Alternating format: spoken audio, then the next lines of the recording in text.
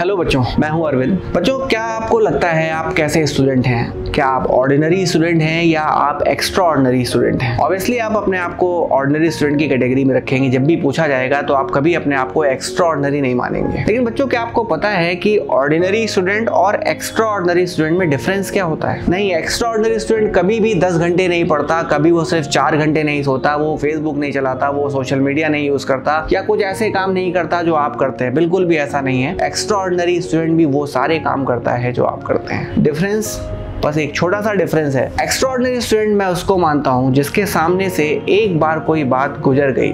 Teacher ने कोई concept explain किया, वो बात अगर उसको समझ में आ गई तो वो कभी उसको नहीं भूलता है। हम भी बहुत सारी बातें हैं, कभी नहीं भूलते हैं। लेकिन जो काम की बातें हैं, हम उसको भूल जाते हैं। इसीलिए हम ऑर्डिनरी स्टूडेंट कहलाते तो अगर आपको एक्स्ट्रा ऑर्डिनरी स्टूडेंट बनना है तो आज से वर्क करना शुरू कर दो कि जो हमारे काम की बातें हैं, जिससे हमें सफलता मिलेगी, वो बात मैं नहीं भूलूँगा।